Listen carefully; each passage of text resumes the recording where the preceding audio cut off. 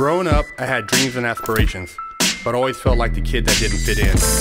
For the most part, I wasn't a bad kid, but when I made the transition into adulthood, I turned to the streets for guidance.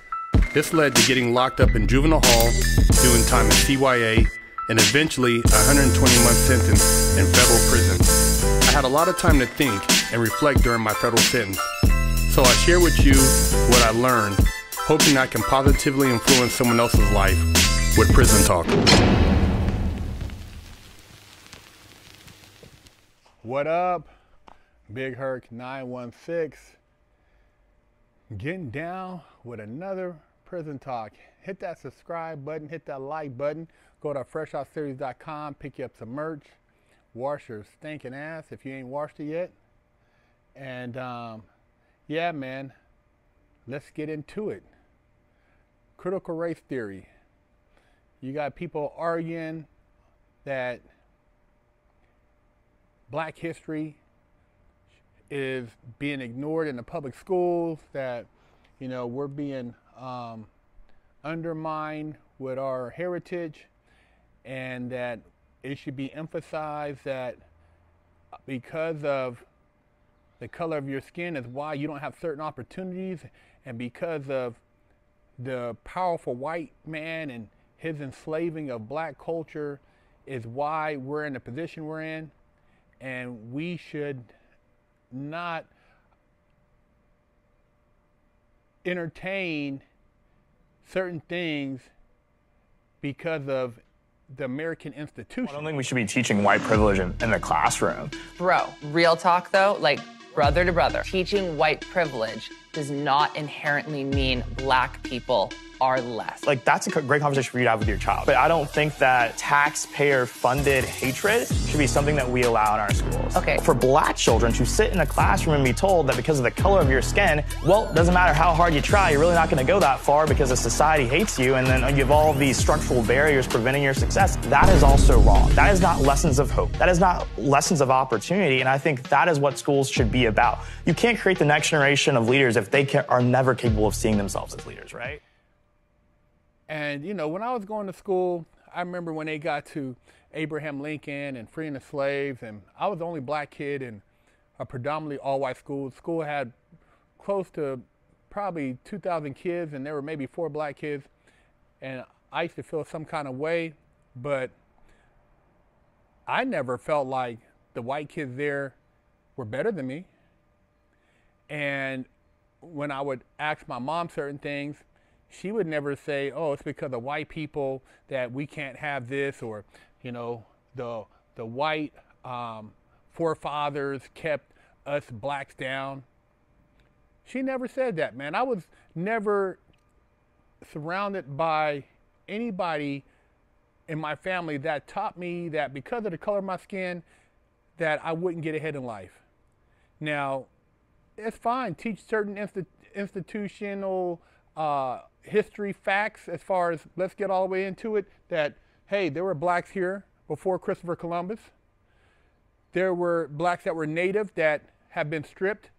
And the ones who we call the indians now are only what they actually legally uh, consider to be native americans but there were also native american blacks.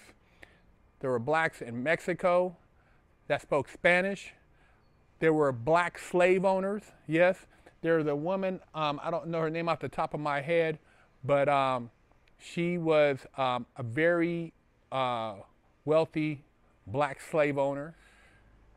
You know, I went ahead and looked it up for you guys because I want you guys to uh, go ahead. You can Google the same stuff I'm Googling. 10 black slave owners that will tear apart historical perception. Justus Angel. Men and women of color owning slaves was not so uncommon even in 18th century South Carolina.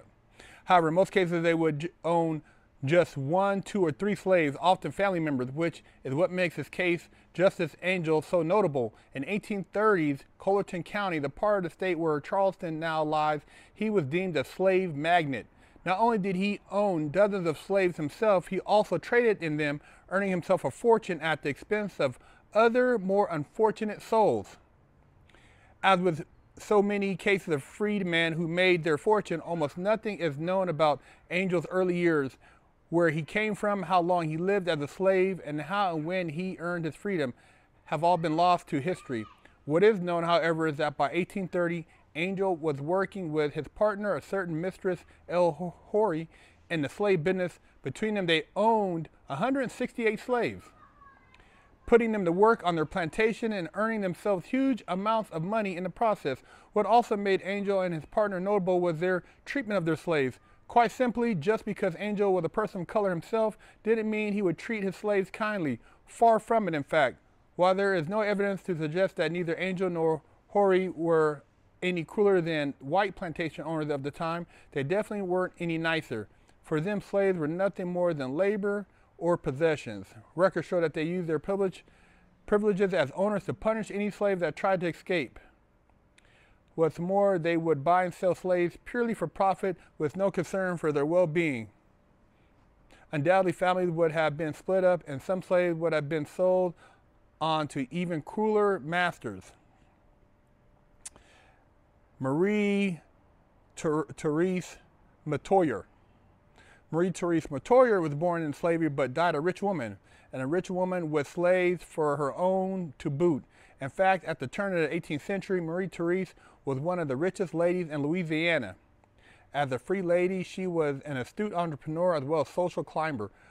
Moreover, she was a Christian minded and worked to improve the society she lived in, even if she didn't make use of slave labor.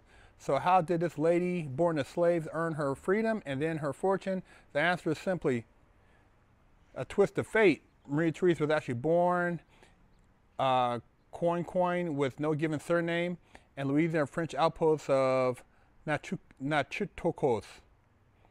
While she was born in slavery, she did have some education as a child, being trained in nursing and then pharmacy skills that she would be able to put to good use later in life. Records show that she had children young, five children to be precise, though who the father was is not known. Um, what is known that in 1765, Coin Coin's mistress decided to lend her to a man called Claude Thomas Pierre Metoyer. It was a decision that would change the lives of both the slave and the young French merchant. Metoyer fell in love with his new slave. In order to, to stay together, he purchased her as well as her children. She took a French name, and when they had six children of their own, he purchased their freedom too. But after many happy years together, Claude Thomas fell for another woman, divorced Marie Therese, and returned to France. He left behind all his possessions. However, Marie Therese was a wealthy woman. By 1830, it's estimated that she owned more than 1,000 acres with an estimated 287 slaves working the land. As with many plantation owners, Marie Therese was tough with her slaves. She was obviously a shrewd businesswoman since she got steadily richer, suggesting she had little time for sentimentality. Then we have Antoine Duplessis. Duplessis. Duplessis. At the time of his death in 1887, Antoine Duplessis was a wealthy man. Excuse me if I mispronounce the name. A very wealthy man. In fact, he was widely regarded as one of the richest men in the South, richer even than his white neighbors. According to historians, estimates he was worth around 265,000, around 200 times the average annual income. As well as his land, he owned significant numbers of slaves, Moreover, he was well respected in society, not just because of his riches. Duplessis was in many ways a true Southern gentleman, smart, well dressed, and debonair. The Duplessis family had come a long way in a very short space. Um, unlike many slave owners of color of the period, Antoine Duplessis was born to free parents.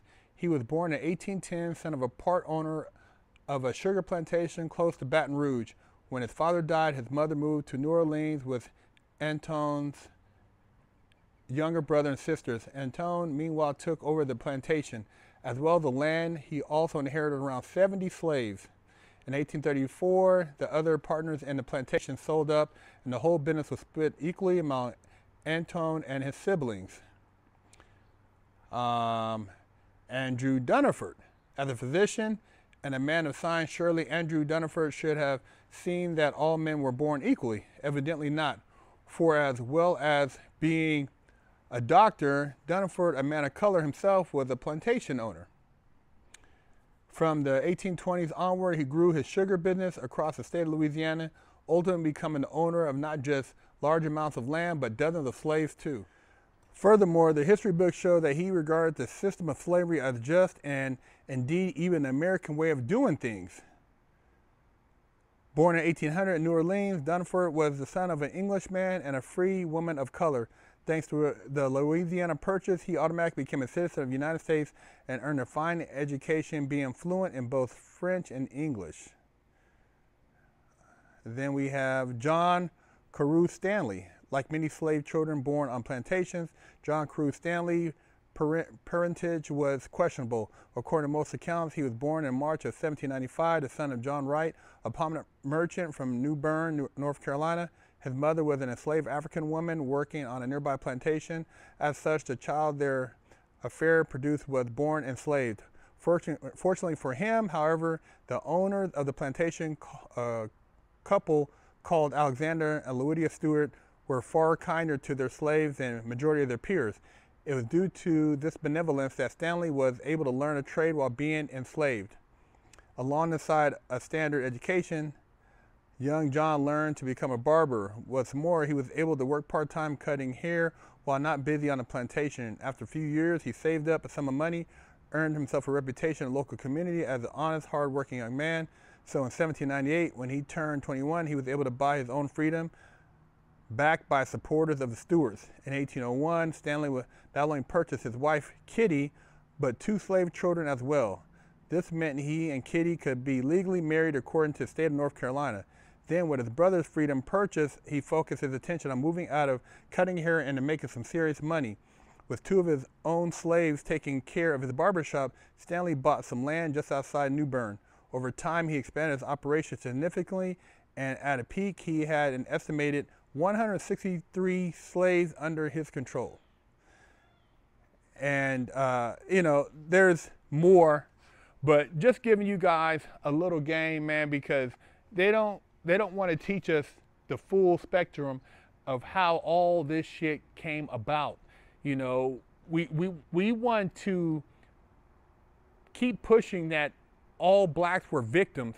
And there were a lot of blacks who flipped the script and may have came from slavery, but turn around and own slaves them damn selves. It's no different than you have people who have been able to accomplish a certain amount of success and they basically take part in um, cheap labor, you know, goods at low prices. I mean, it's, it's capitalism.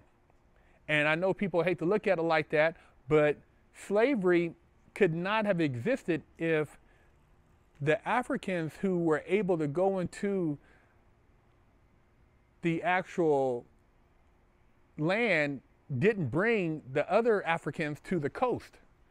So there's a lot of things, if you could actually go back in a time machine and see this shit, but one thing I consider ingenious is those who came up with the history books who are the ones who dictate what's considered the, the history of this country had an agenda, and enslaving not only means having chains or shackles on you, it also means mentally.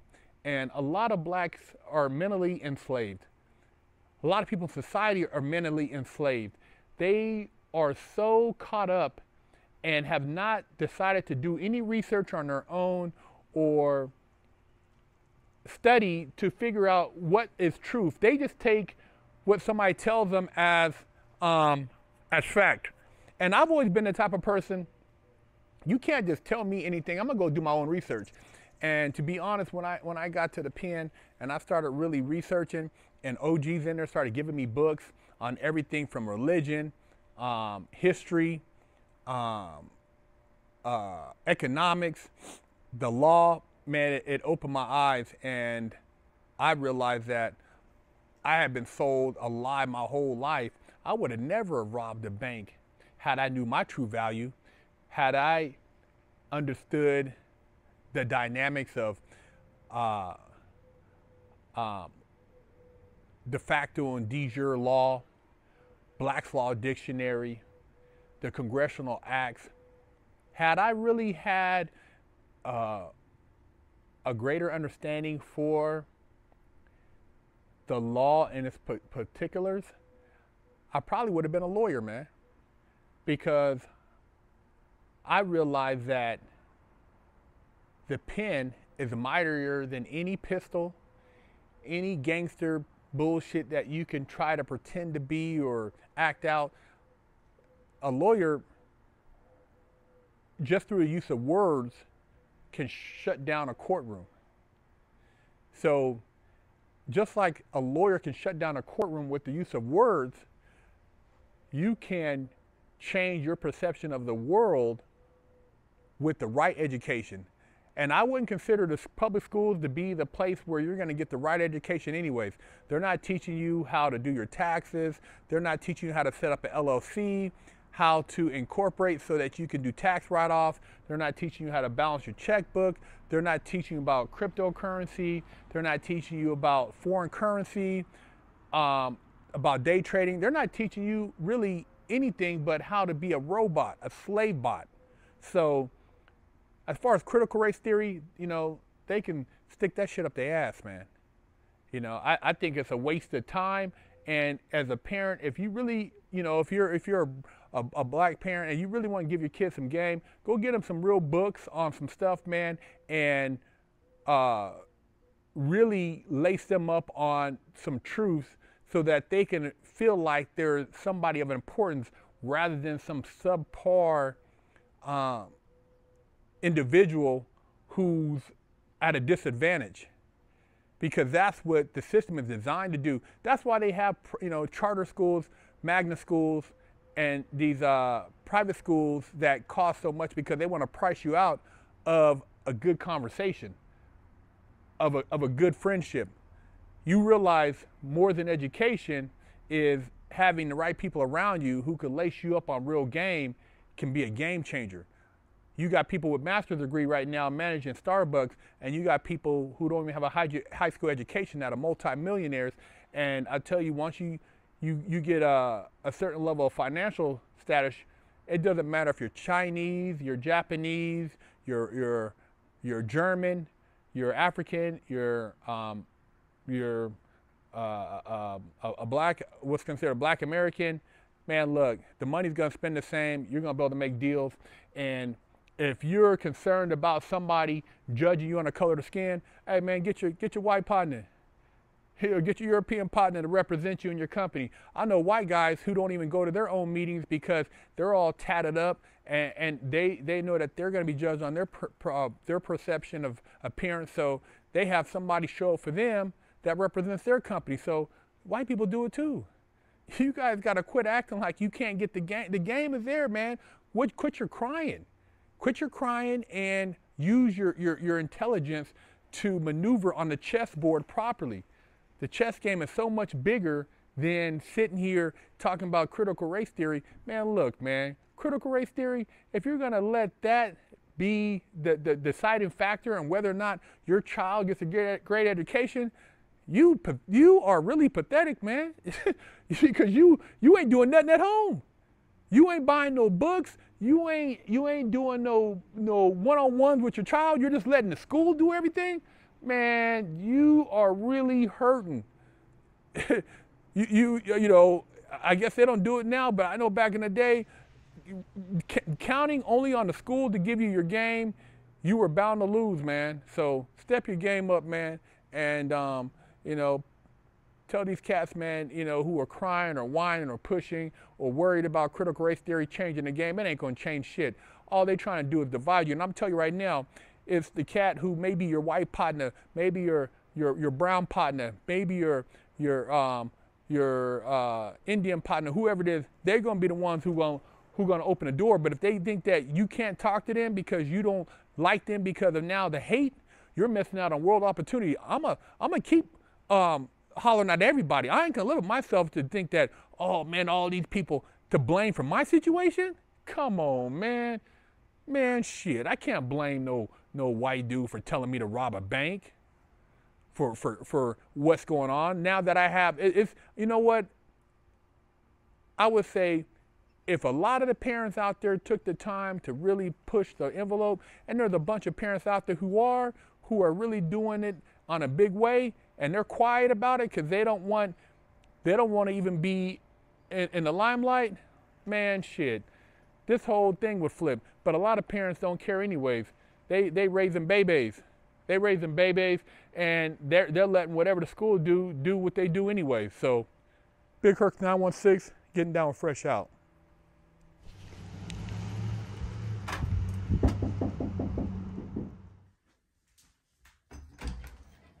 Hello, my name is Big Herc 916 and I'm from the Wash Your Ass Committee and I'm here to help you clean your booty hole. So I have some scents here that I would like to share with you. I have um, Festival, I have Butt Naked Scrub, I have some Oatmeal Milk and Honey, I have uh, Jamaican Me Crazy Festival. Um, you can take a pick from one of these, these scents and wash your ass, make your body feel better about itself, get rid of the funk, and I would like to make sure I can give you a good deal, so let me know. Go to freshoutseries.com, pick you up a bar, and please wash Stop your walking around with a crusty butt, smelly ball sack, and a funky hoo-ha. Big Herc said wash that ass. Pick you up a t-shirt at freshoutseries.com.